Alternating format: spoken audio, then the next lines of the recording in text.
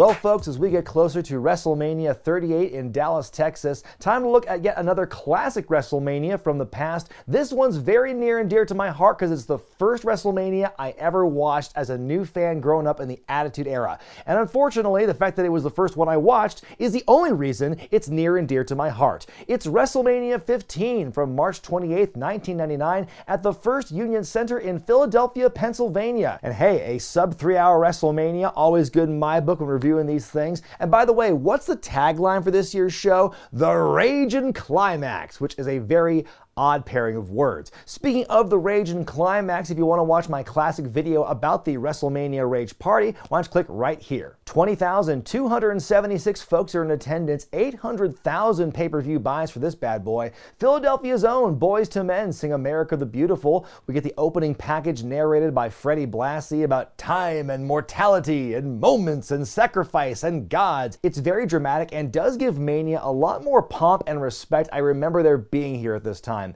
Michael Cole and Jerry Lawler at ringside for commentary here. And we go to our first matchup for the Hardcore Championship, the first time that belt was defended at WrestleMania, as Badass Billy Gunn defends against Al Snow and Hardcore Holly. This match is one of the two end results to a big switcheroo or swerve that happened only weeks before WrestleMania. Now, in the weeks leading up to this show, you had Billy Gunn challenging for the Intercontinental Championship and the Road Dogg for the Hardcore Championship. But two weeks earlier on an episode of Heat, you saw Val Venis and Bob Holly beat the Outlaws in kind of an upset situation. And so they challenge for the next night on Raw. Hey, Road Dogg's going to challenge for the Intercontinental belt. And hey, Billy Gunn's going to challenge for the Hardcore belt. And they each won those championships. Uh, and there's no explanation really given besides that as to why they made the switcheroo. Uh, when I met Bruce Prichard a few years ago in LA to open for his live show, I even asked him, hey, why was that decision made? It was something that was always gnawing at me growing up as a fan. Even he didn't have an answer for it. Oh well. All three men going after each other. The action spills outside quickly. Snow throwing Billy into the steps and he goes flying. Holly with a big suplex on the floor.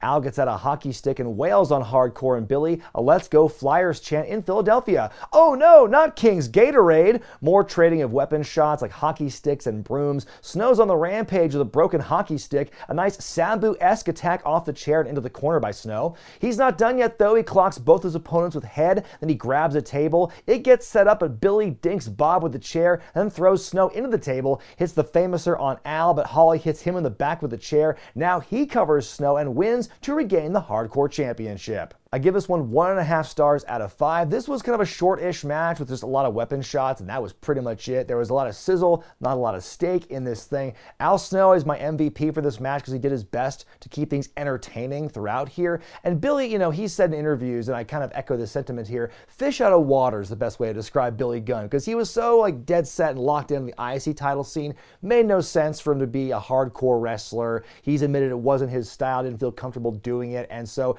that kind of showed here in this matchup. It might have been a lot better. Well, it might have. It would have. It would have been a lot better if Road Dogg stayed in this picture. The tag team championships on the lineup next as Jeff Jarrett and Owen Hart, who are accompanied by Debra, defend against the very makeshift team of D'Lo Brown and Test. Now, earlier in the night on Heat, there was a big battle royal to determine who would challenge Jarrett and Hart for the belts. The last two people in the match would become the challengers. D'Lo makes a lot of sense because for weeks leading up to this, he's been gunning after Hart and Jarrett specifically after the feud they had that we saw of some of at St. Valentine's Day Massacre, which also saw Mark Henry get written off with an injury. So makes sense for D'Lo to be in this spot because he's pursuing the tag team champions, but why did he have to luck his way into the match with this battle royal, let alone with somebody he has zero storyline involvement with? It just felt very, you know, random is a good way to describe it. D'Lo's pal Ivory sporting a bandage on her face after she got burned by Terri's lit cigar last week. Last we saw Owen on this channel, he was the blue blazer fighting Mr. Perfect at Mania 5. There is a noticeable lack of chemistry between Test and D'Lo. It's a big story here. D'Lo's distracted by Which allows Owen to take over for a bit. D'Lo comes back fighting the champs by himself. He's a one-man wrecking crew. Debra gets up on the apron and Ivory yoinks her down. They're arguing on the outside, which has the referee distracted. PMS shows up for some reason to argue with Ivory. Test arguing with all of them now. Meanwhile, Jarrett and Owen double team D'Lo to pick up the win and retain. Ivory and D'Lo both get in Test's face, and now Test and D'Lo brawl. WrestleMania, baby! This one gets one star out of five for me. You know, it was a painfully short. There was no heat to it. And the story going into it didn't make sense. I mean, I get one to put Test in a spot at WrestleMania because he's part of the corporation, he's an up and coming star. He's going to get his spot later in this show, but for him to have been in this match and be involved made no sense from a storyline standpoint. What wow, what a great showing for your tag team champions, the biggest show of the year. We see Isaac Hayes, the voice of Chef at ringside, and there's the Mean Street Posse, Shane's childhood friends from the mean streets of Greenwich, Connecticut. We'll be seeing those guys a bit later. Up next, oh God, why? Why are we watching this? Do we have to? Do I have to? I guess for the for the sake of for the sake of preserving the history, I guess we got to talk about this. It's the Brawl for All match as Michael Barton takes on Butterbean. Poor, poor Bart Gunn. He was the winner of the previous year's Brawl for All tournament. The Lamb being led to slaughter here against the legitimate tough man fighter Butterbean, who has this raw, destructive knockout power. Butterbean made a, a point to say that, that no takedowns were allowed in this fight, so the things that Bart Gunn could have relied on in the original Brawl for All tournament would not help him here. The ringside judges for this fight are Kevin Rooney, Chuck Wepner, and the legendary Gorilla Monsoon, his last appearance before his passing later that year at the age of 62. The fight begins, and what else do you want me to say, folks? Butterbean knocks Bart Gunn the fuck out, and that's it. Zero stars for me from this one. Poor, poor Bart Gunn. Then the famous San Diego Chicken shows up in Philadelphia. Sure, that makes sense. He mocks the referee, Vinny Pazienza, and taunts him, so he gets knocked out for his efforts. As Heat wrapped up earlier in the night, Big Show and Mankind brawled in the back. Now we go backstage to see Kevin Kelly interviewing Mankind, who says he's done everything he's been asked to, and now he has one more hurdle in front of him. Says Big Show is about to encounter an angry young man. And we go to that match now, Mankind taking on the Big Show, Paul Wight, where the winner becomes the special guest referee for the main event later in the evening, which is a very unnecessary gimmick for the angle, quite frankly. More on that later. So Paul Wight, the former giant in WCW, debuted at the end of St. Valentine's Valentine's Day Massacre and inadvertently cost his boss the cage match against Steve Austin. The next night on Raw, he makes up for it by chokeslamming Mankind off a ladder, helping The Rock regain the WWF title. Foley really wants to stay involved in the main event by offering to be the guest referee. Vince makes him beat The Undertaker, then Stone Cold for the spot. Then Vince makes him wrestle Paul Wight at Mania to finally earn the job. And boy, Paul Wight has not been booked very well since debuting for the company. I mean, all the extra nicknames they tried to tack on to him aside, like the Big Top and the Big Nasty before eventually settling on the Big Show. But just the stuff he's been doing has been completely stupid because first thing he does, he costs Vincent McMahon the match against Steve Austin. Then he repeatedly hits the wrong people. He gets outsmarted. He loses to Austin after one stunner and looks like a total chump overall. Wow, a real strong way to debut this major acquisition. The match starts out with a brawl, fighting on the outside. Foley trying to chop down the oak tree, but gets pushed back into the steel steps. Wight taking over for a while, some clubbing blows, goes for a clothesline, but Foley ducks, and Wight falls to the outside. Out comes Mr. Socko, and it's the Mandible Claw. Mankind fights to keep the hold locked in, but Show keeps batting him away. Show is fading, and Mankind gets on top of him, and eventually Show gets up, falls backward, and flattens him. I can't imagine how it must have felt for Foley to take that kind of impact from Paul Wight. Show now beating Mankind with a chair repeatedly in full view of the referee who's just letting this all go for some reason. And the announcers go, if he's not careful, he's going to be DQ'd. Like, how's he not already? Show sets up a couple of chairs in the ring, choke slams Mankind onto them. Then the referee finally has had enough and disqualifies Wight, and Mankind wins, meaning he's going to be the referee in this match. An angry Mr. McMahon makes his way to the ring and chews out Show for losing the match. Show picks him up for a choke slam and puts him down. Vince gets in Big Show's face over it, slaps him, and Wight hits the knockout punch and so brings us the first of many face and heel turns for the Big Show. I'm to give it one and a half stars out of five. You know, Mankind generally has had some pretty good chemistry with the giants he's fought in this company, like Undertaker and Kane, for example. But at this point, it's not so with Paul Wight, who's still kind of learning the style. He seems pretty gassed early in this match. I think it's kind of clashed in this one, and it just wasn't a great match. The finish was kind of flat, and it's all building up to this part of a main event angle that detracts from the rest of the main event angle. A four way elimination match for the Intercontinental Championship as the new champion, the Road Dogg, takes on Val Venis, Ken Shamrock, and Goldust. As I mentioned earlier, there was the great Outlaw switcheroo from two weeks earlier where Billy Gunn went after the hardcore title, Road Dogg went after the IC title. So now we have these matches set up where there's no chemistry between the champion and the challengers because they're not who they were feuding with in the first place. Meanwhile, Goldust has now aligned himself with the Blue Meanie after beating him at St. Valentine's Day Massacre, and Ryan Shamrock, Ken's sister and Val's former girlfriend. Also, Meanie's calling Goldust his mother mother now. Meanie was jealous of Ryan's presence in the picture and even called her out to a fight the week before on Raw. The match starts off with Shamrock and Road Dogg. The dog very strike heavy, but a nice dropkick as well.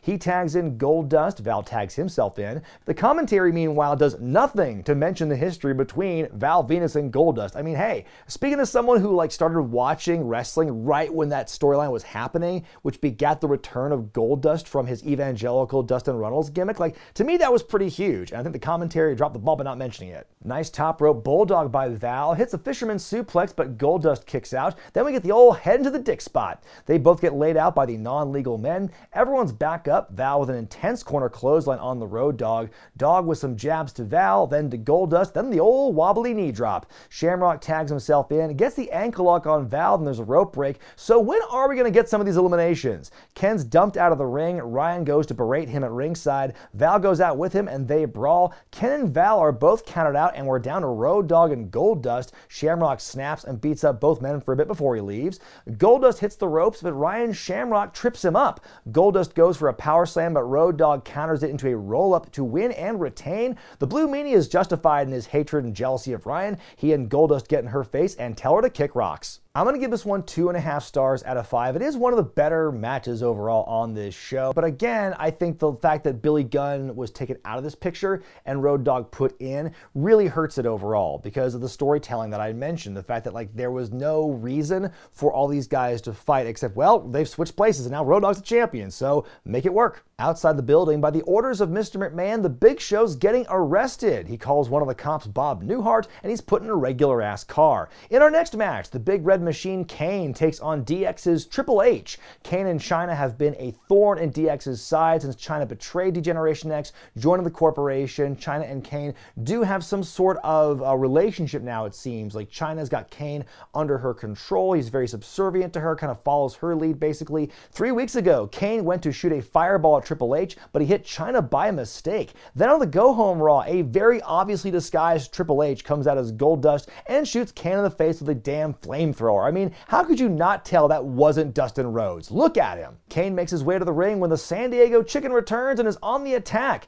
Kane stops him, he unmasks him, and it's Pete Rose, who got beat up at last year's WrestleMania, so he gets beaten up again. Lawler says, There's always next year. Yes, there is, Jerry. Yes, there is. Triple H enters through the crowd and jumps Kane from behind. The match begins. Fighting goes to the outside. Kane misses a clothesline and bats the ring post, gets thrown into the stairs. Triple H is hurt but keeps the fight going. He gets goozled and Kane drops him crotch first onto the barricade into the Mean Street Posse. There's Rodney, Pete Gas, Willie Green, and some other guys who didn't last past this pay per view. Kane beating the hell out of Triple H at this point. H showing signs of life, but Kane keeps cutting him down. Kane throws H out of the ring, then dives over the top to the outside. Damn.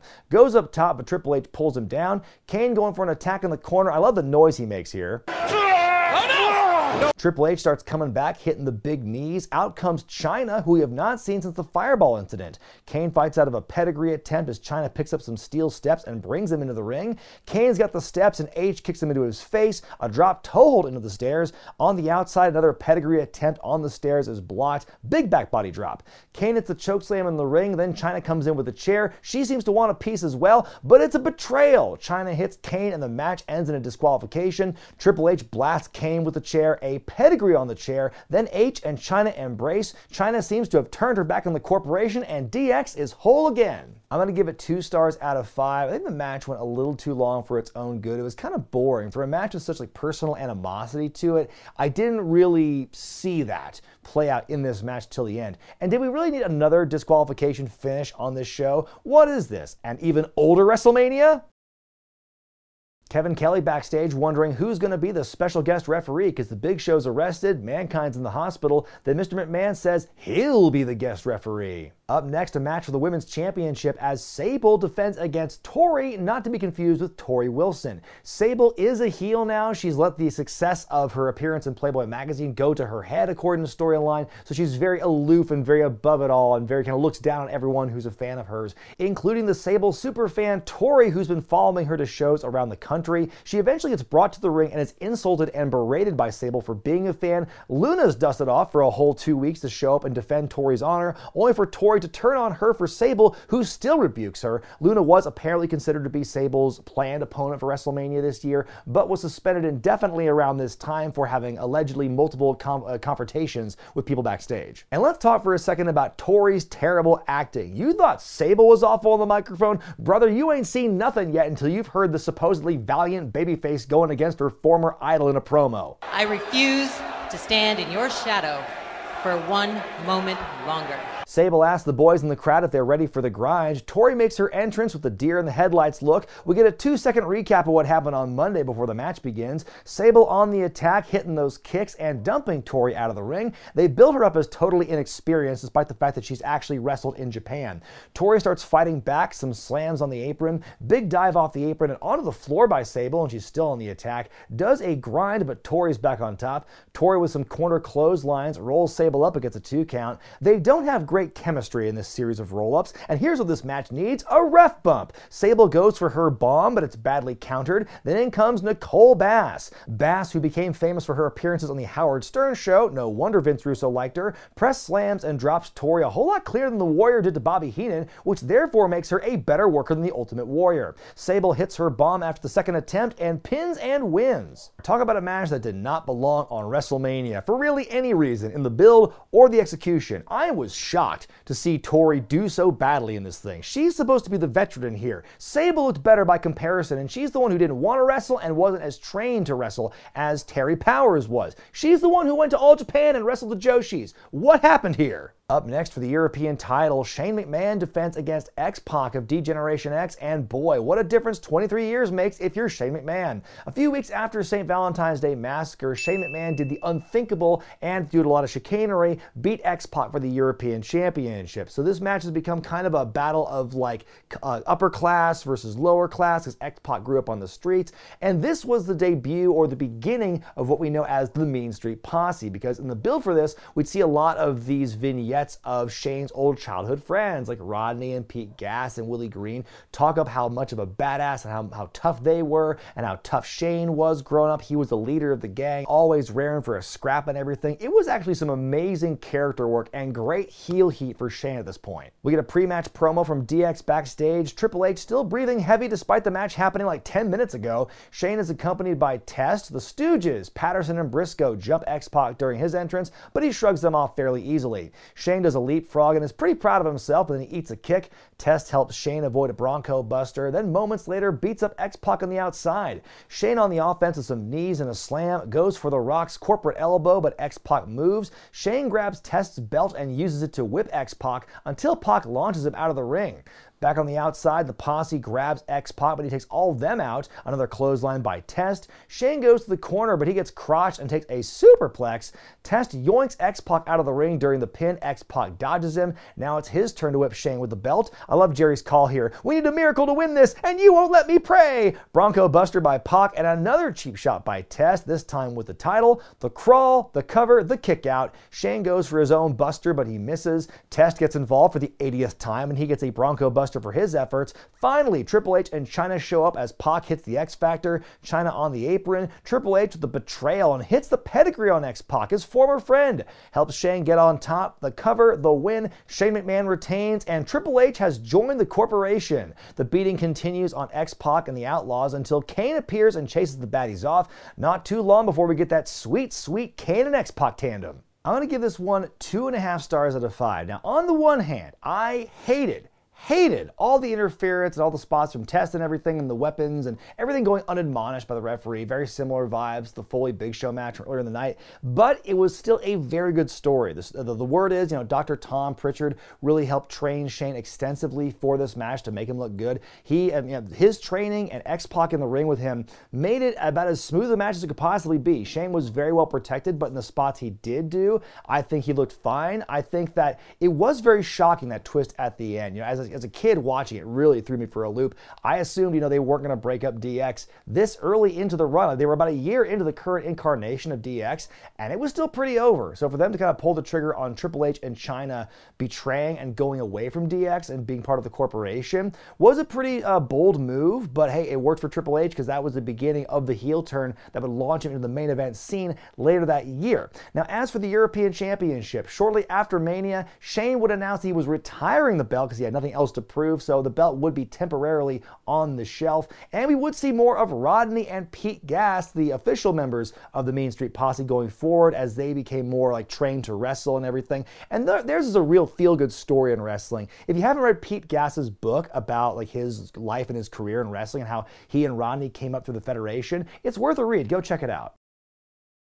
It's time for Heck in a Sec as The Undertaker takes on the Big Boss Man. So, this is probably the peak of the Ministry Undertaker era because this is right before the higher power gets revealed and everything goes to shit. So, let's see how this builds up because Taker and the Ministry are terrorizing Mr. McMahon at this point. You know, he's, uh, he's threatening to take over the World Wrestling Federation and to control everyone's souls. He promises that she too will be mine, but it's never really implied yet as to who she is supposed to be someone very close to Mr. McMahon is all we really know. We see Undertaker like set this old teddy bear on fire and it makes Vincent McMahon come down to his knees. Uh, also refers again to that higher power, which we have not found out who that is yet in the story, but of course we will see what happens in the future with that. And so Vince, as payback to Undertaker for all the torture that he's been put through, is to put the corporation's head of security, the boss man, against him in Heck in a Sec. Now, I have ripped Ministry Taker on this channel for a while, but I have to admit, watching this build back on Raw every week, removing the added context of what's to come in the future,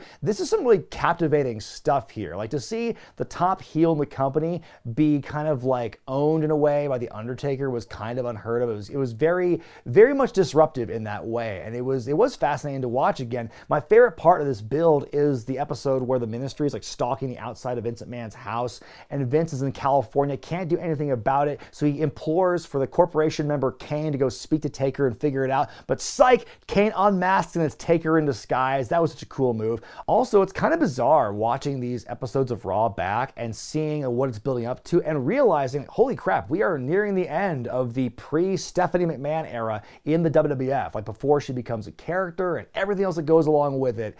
And it's, you know, as someone who's been a fan since 98, Stephanie has been part of programming for me as a fan a lot longer than she's she's not been. And so to kind of go back and see, oh, this is what it was like just before that all changed is pretty surreal to watch, actually. Oh shit, the ministry theme actually plays for Taker here. It's weird because on Peacock, his theme is usually dubbed to like an older pre, like dark side, pre 98 version of his theme. And my theory as to why they did that was because like the lyrics are, accept the Lord of Darkness as your savior, which like, mm, you know, some people might take offense to that. So I get why they would change it, but the fact that it's untouched on the pay per view itself, I thought was interesting. Is that some kind of oversight maybe. Some brawling to start things off. Back and forth until Taker starts slamming Bossman into the cage wall. Bossman grabs some handcuffs, cuffs Taker to the wall and grabs his nightstick, gets a few shots in, and the handcuff chain breaks. Welp, Taker's bleeding now, but he fights back on Bossman, hurls him into the cell wall, and it bows out.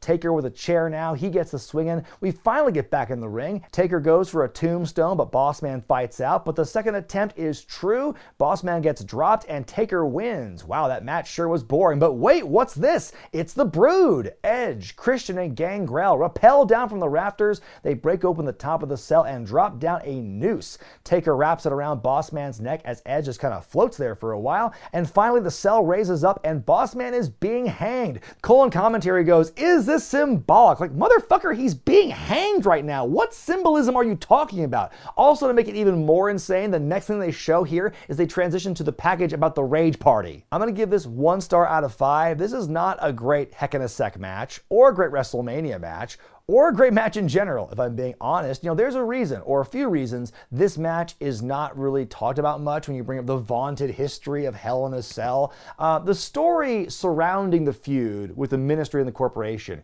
is a whole lot more interesting than this match itself, is all I'll say. It's now time for the highly anticipated main event for the World Wrestling Federation Championship. The Rock of the Corporation defends against Stone Cold Steve Austin, the first match of the great and historic WrestleMania trilogy. In January, Vince McMahon screwed over Steve Austin to win the Royal Rumble. In February, Austin fought for the right to go to WrestleMania by beating Mr. McMahon in the steel cage at St. Valentine's Day Massacre. And from this point on, to me, it feels like the story going into Mania isn't so much like Austin and Rock or even Austin McMahon we saw the blow off to that at St. Valentine's Day Massacre, but it feels more like The Rock and Paul Wight. Because The Rock is paranoid about Paul Wight's intentions, thinks he's working with Austin to get his title. Wight and Mankind are arguing over who's going to be the guest referee for the match. Vincent McMahon trying to hold everything together while simultaneously dealing with the Ministry of Darkness. And except for the big beer truck spot on the Go Home Raw, this main event feud surprisingly has Austin in what I perceive to be a third tier position. And Jim Ross is back to call the main event, folks. Ross suffered another bout of of Bell's palsy live on pay per view overseas back in December and took several months off. He came back angry and bitter that nobody wanted him around anymore because he was ugly, but he just wants to do his job. So he's got his boy, Dr. Death, hanging around with him and fighting his battles. He wants to get back on the show any way he can, so he takes Michael Cole to Dick Kick City.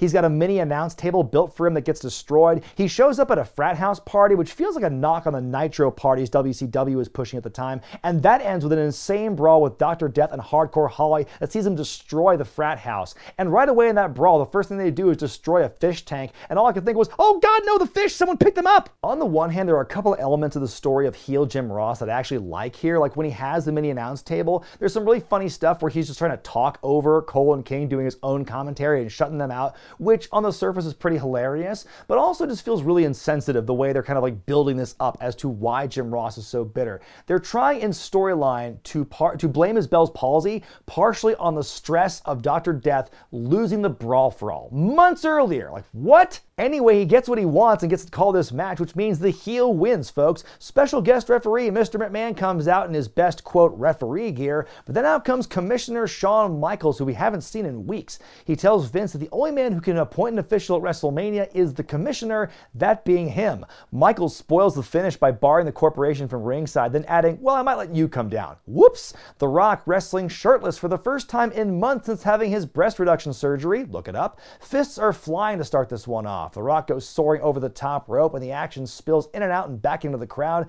The Rock starts to choke Austin with the camera cable. The match was made a no DQ match earlier in the night, by the way, as if it stopped anyone else. Austin on the attack again. Now he's choking The Rock, throws him into the big WrestleMania sign. Beats pointing to it. Rock with a suplex on the floor, spitting the people's water on Austin, who comes back and drops the elbow on The Rock on the Spanish announce table. Another one breaks it. Austin continuing the assault, finally back in the ring, and The Rock with the him bottom out of nowhere nowhere in a kickout.